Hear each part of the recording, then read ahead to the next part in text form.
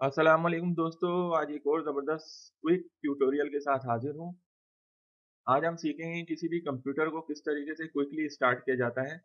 तो इसके लिए सबसे पहले आप स्टार्ट पे क्लिक करें, फिर यहाँ पर कमांड डालें एम एस कॉन्फिग जी, ये कमांड है M S C O N F I G फिर ये इस तरह आ जाएगा, इसको ओके करें।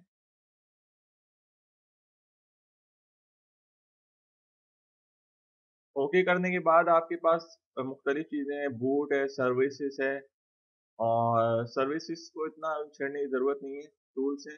हमें यहाँ स्टार्टअप पे क्लिक करना है। अभी चूँकि मैंने तो मैंने तो यहाँ से तकरीबन सारे मतलब जो ज़रूरत के हैं, वो सिर्फ़ इनेबल किए हैं अगर आपके ये, जैसे ये डॉब अपडेटर है, ये सब जितने भी चेक हैं ये अनचेक करें। आप वो प्रोग्राम जो कि आप चाहते हैं कि स्टार्टअप में खुलें, आप उनको सिर्फ़ चेक करके रखें। अब मैं चाहता हूँ सिर्फ़ ये ये चंद प्रोग्राम है, ये सिर्फ़ स्टार्टअप में खुलें, उनको मैंने चेक करके रखा हुआ है।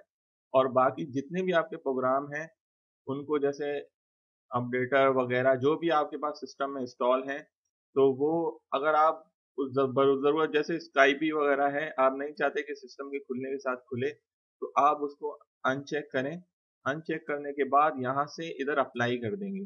अप्लाई करने के बाद यहाँ से ओके कर देंगे। फिर ये कंप्यूटर जब इस तरह ओके करेंगे तो ऑटोमेटिकली ये रीस्टार्ट मांगेगा। और अगर कैंसिल कर देंगे तो वो रिस्टार्ट नहीं मांगेगा, इसलिए अप्लाई नहीं होगी। ओके करने का मतलब है कि वो चीज़ें जो आपने चेंजेस किए अप्लाई हो जाएँगी। उसके बाद जब रीस्टार्ट होगा तो एक मैसेज आएगा कि मतलब मैसेज आएगा इसी से रिलेटेड और उसको सिंपली आपने एक और इस तरह का चेक बॉक्स होगा चेक करके ओके कर देना है। तो उम्मीद है कि आपको ये चीज़ समझ आ गई होगी।